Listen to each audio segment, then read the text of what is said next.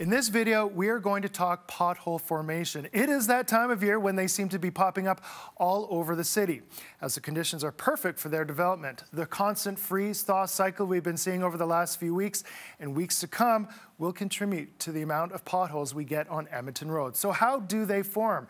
To understand this, we start by looking to the surface of the pavement, where cracks in the surface allow water to enter the pavement, seeping below the pavement layer.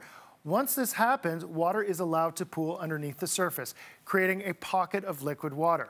Now, here's where the freeze-thaw cycle amplifies the problem. As the temperature drops below freezing, this pocket of water freezes and expands, pushing the pavement up.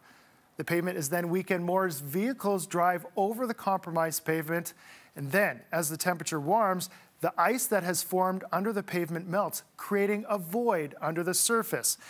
Continued traffic over the spot will cause it to collapse, leaving a pothole. And the pothole can continue to grow in size with more exposure to traffic until it's finally repaired.